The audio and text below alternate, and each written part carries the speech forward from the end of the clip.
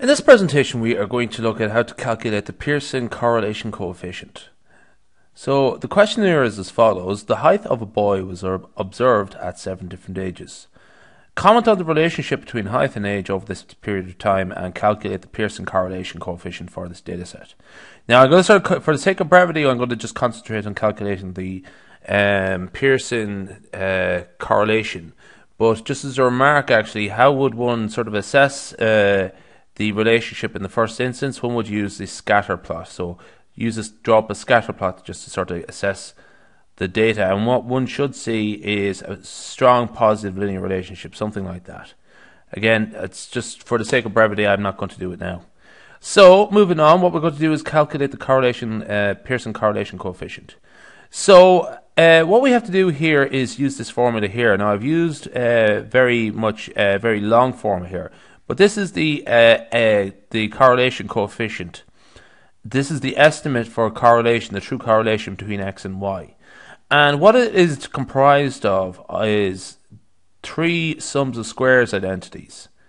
And th there they are, they're listed at the bottom. So I'm going to call these the sums of squares identities.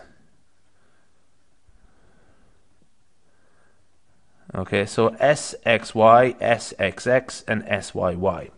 So this is a formula for each of them, and they're all based on, essentially they're all based on uh, different types of summations. What I'm going to do is just a sort of a reduced version of each formula here.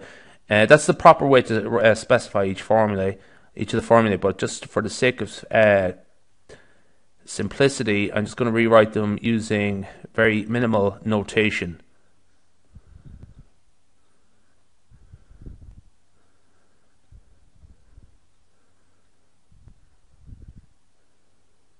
There we are.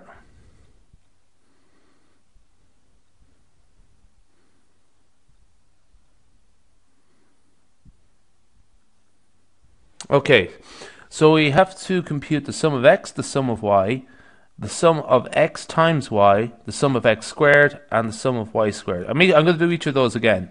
Now, essentially what I've just done there, essentially all I've done is just like removed all the subscripts and superscripts just to make it a little bit easier to read. So you get the general, the general sense of what to do. So let's begin. Essentially what we need to do is comp compute all of the following here. The sum of x, so for each uh, uh, pairing of x and y, what we're going to do is uh, multiply them and then add up all the all the, the, the products for each case.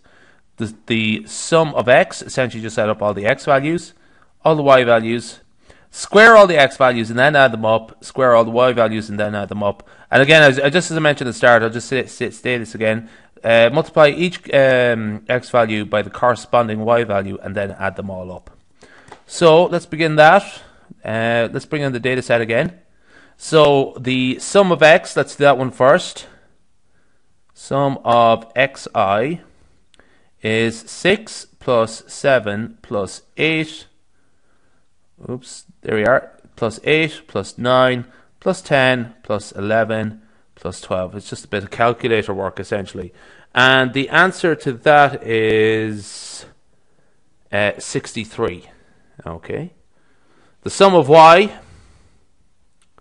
the sum of the y values, 108 plus 115 plus 120 and so on. The answer to that is 885.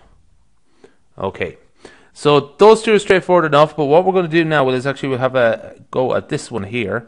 The sum of xi times yi. So in each case, what we're going to do is multiply the corresponding values out and then add them all up together. So that is 6 times 108 plus 7 times 115 plus 8 times 120. There's a lot of laborious calculator work here, but I think you get the gist of it there now. And we add all of those up, and we will get uh, 8,136. So the three values that from uh, we've looked at so far 63, 885, and uh, 8,136. So we've this one done, we've this one done, and we've this one done. So uh, all that remains to be done now is to square them, to square each car, uh, each value of x and each value of y, and then add them, uh, sum all of those up. Let's do that. So what we're going to do now is these, the, the last two here. Again, the uh, numbers can get quite long. The sum of xi squared is as follows. So this is 6 squared plus 7 squared plus 8 squared and so on. That's equal to 36 plus 49 plus 64 and so on. And that is equal to, bear with me, just write it down, 595. Okay. Sum of y squared. So essentially we square all of the values of y and then add them all up. That is equal to 108 squared plus 115 squared plus 120 squared and so on. Again, a lot of laborious calculations, but you just have to go through them. One, uh, so 11, uh, 112,935 should be the answer to that one. Okay, so that, let's just sort of uh, check all our answers again. So the sum of x, uh, the sum of the case-wise products, x, the each corresponding value of x, uh, x and y, uh, uh, add up all of those values and we get 8136. The sum of the x values is 63. The sum of the y values, 885. And where's the rest them there? The sum of the squared, the sum of the squares of the x values, 595. The sum of the squares of the y values, 112,935. Okay. Now, let's move on to the next bit. What we're going to do is we have computed all those values. Now we can actually compute the sums of squares identities again. Uh, so we can just concentrate on that now. So we found, uh, just uh, checking over our solutions there, we found that this value here is 8136. The sum of the x values was 63 and the sum of the y values was 885. And just as a remark, uh, going back, I'm just going to flick back here for a second. We have seven points in the data set. There we are, seven points, 6, 7, 8, 9, 10, 11, 12. Those seven of those uh, pairs of observations. So we're going to divide this, n is equal to 7. Okay. Uh, that actually works out to be 100, uh, sorry, 171. Again, a bit of calculator work. The sum uh, s of xx is the sum of x squared, that's 595, minus the sum minus x, uh, the sum of x to be squared, uh, which was 63 to be squared, all over 7. Again, a bit of calculator work here. That works out to be 28. Sum of y squared minus the sum of y to be squared divided by n. That is 112,935 minus 885 squared all over 7. Again, these numbers are usually not uh, too easy to work with. I make that to be 1045.71.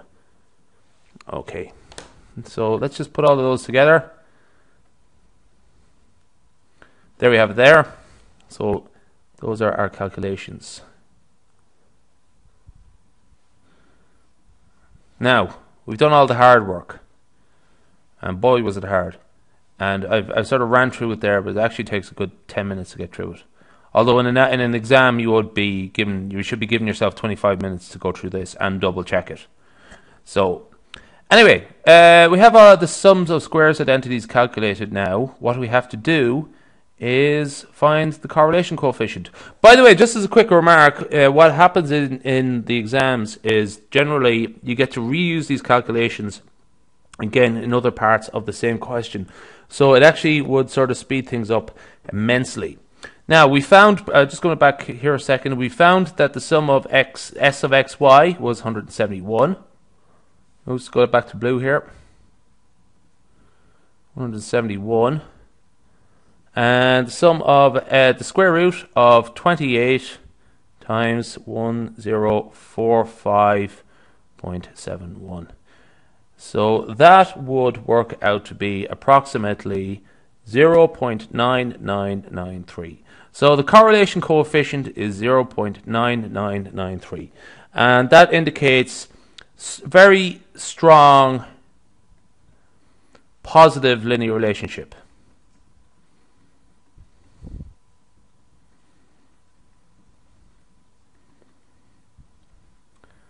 Okay, that ends our presentation.